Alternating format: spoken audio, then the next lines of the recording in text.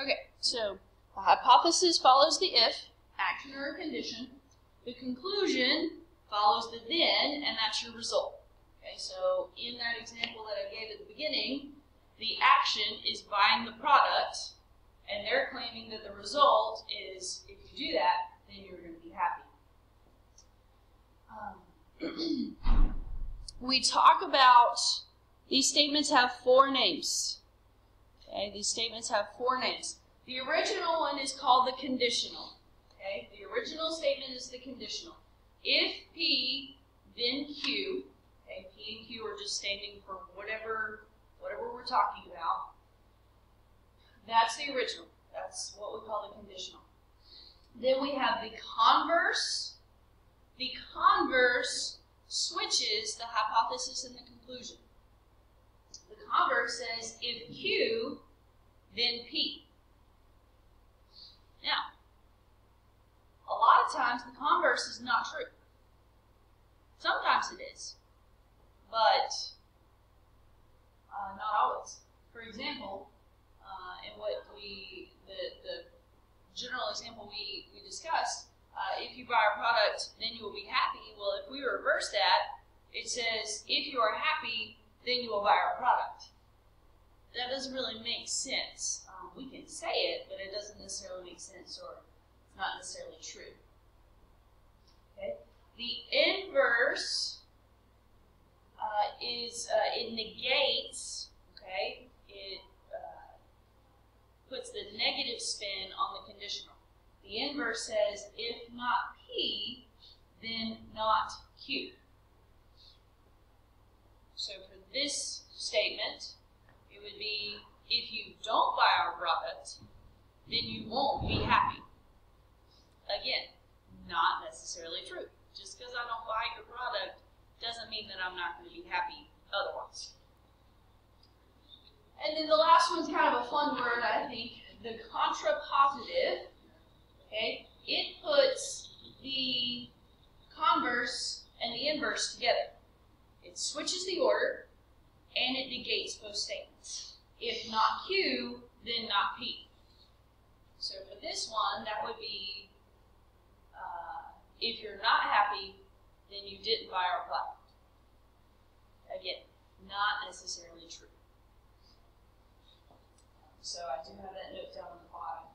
The converse, inverse, and contrapositive are not always true. In some cases they are, in some cases they're not.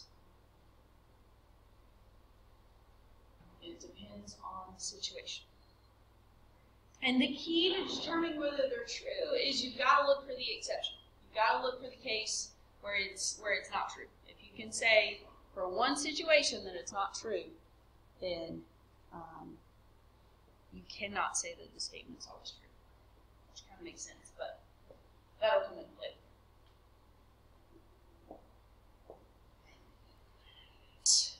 Uh, we're going to rewrite the statement in if-then form.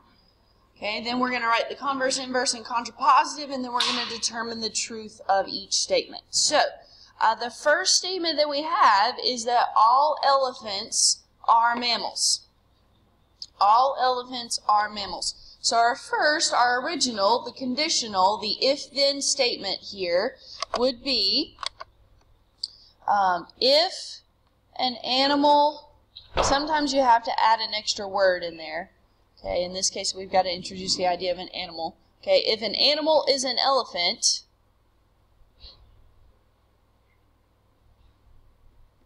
then it is a mammal.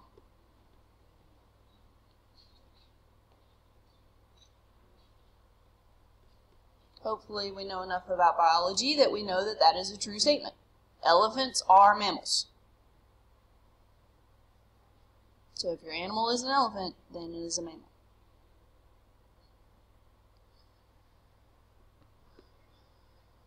Okay, now the converse switches the order. Okay, the converse switches the order. So the converse here would say if an animal is a mammal, then it is an elephant.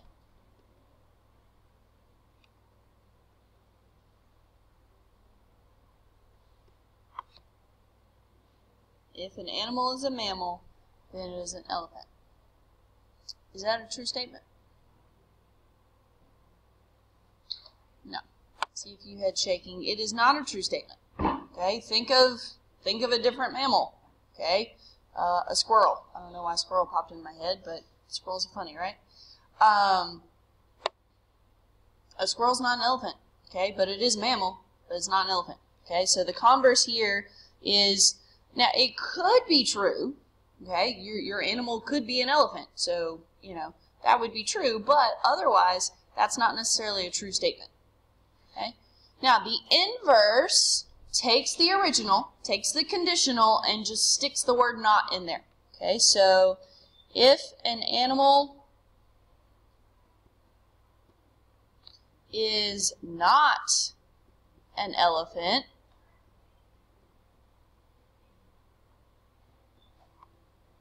then it is not a mammal.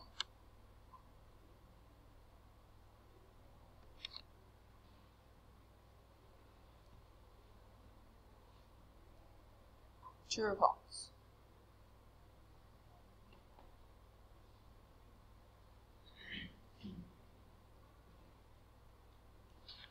Right on there. True or false?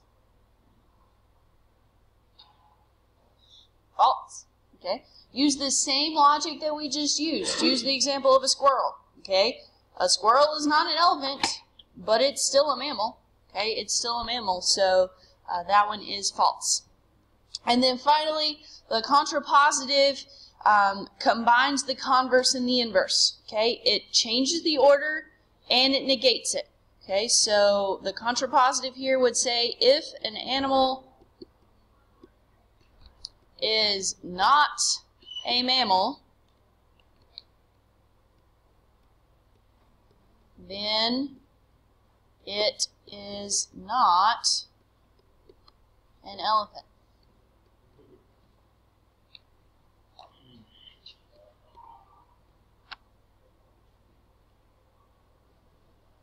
True or false? True. Okay? If you're not a mammal, then there's no way that you can be an elephant.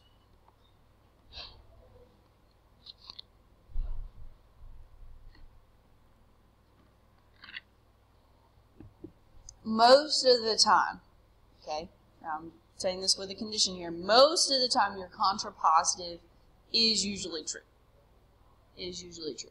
Uh, it was not in the very first example that we didn't really write down that I just talked through, but that was because it was more of a, um, it was kind of an opinion kind of thing. You know, if you buy a product, then you'll be happy. Well, that's very subjective. Okay, let's look at a couple more, let's look at one general example and then let's actually look at a mathematical statement. Okay? Um, so, excuse me.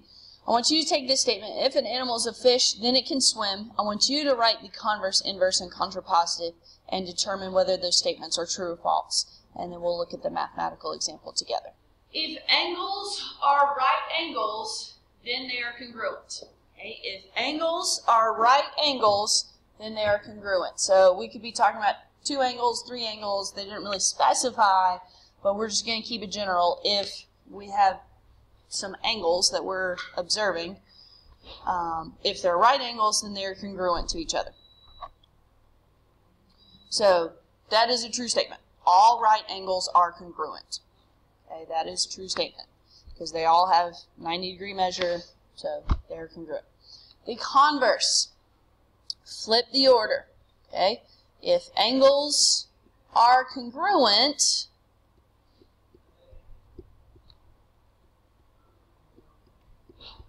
then they are right angles.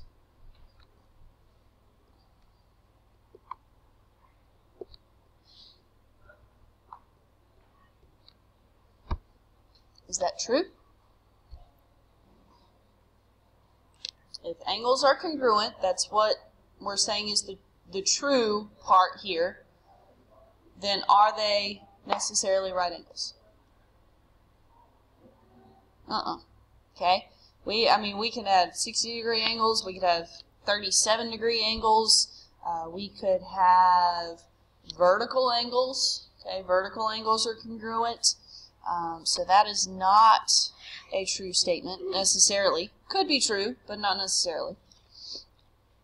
Okay, the inverse negates, okay, if angles are not right angles.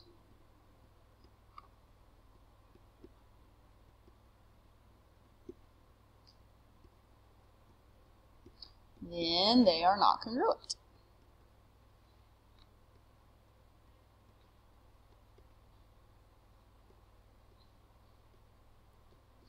most of the time I've tried to use this um, with all the other logic that we've been using. Most of the time you can use the same examples for the converse and the inverse to determine the truth of the statement. Okay, so um, I just specifically said vertical angles. Okay, vertical angles are not necessarily right angles. They could be right angles, but most of the time they're not right angles. There's some other measure of an angle.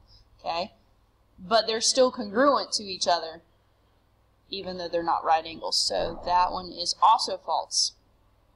And then our final statement, the contrapositive, if angles are not congruent,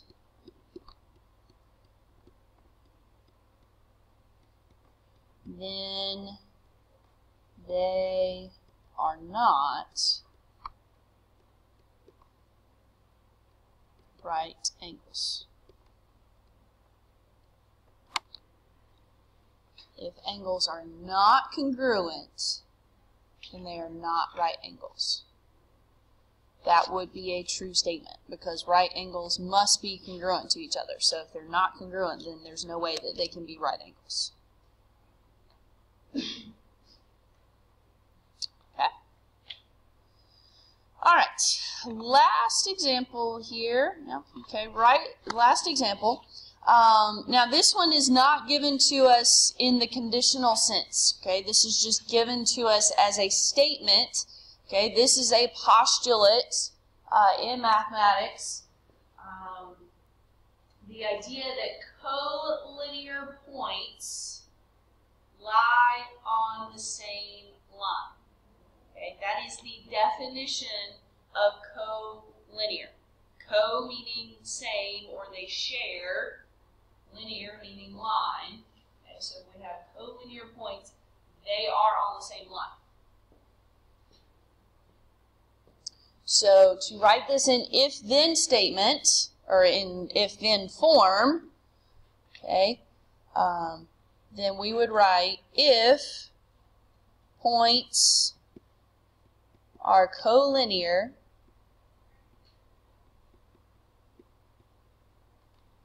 then they lie on the same line. So just tweaking the wording just a little bit to put in conditional form, if-then form. If points are collinear, then they lie on the same line. So convert, uh, and that is true. Okay, obviously that was based on the original statement the postulate. Okay. I don't use that word a lot, but it is good to be familiar with it. Okay, postulate. It's one of those good math words. Okay, converse, switch the order. If points lie on the same line,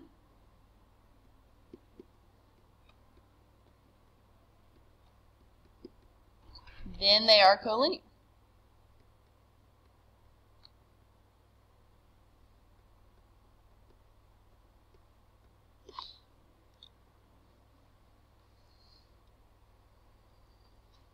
True? Yeah, it's the definition of collinear. If you have points on the same line, then that's the definition of being collinear.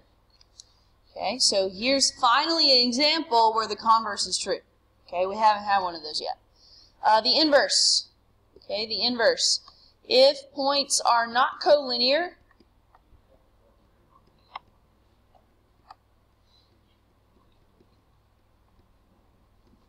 then they do not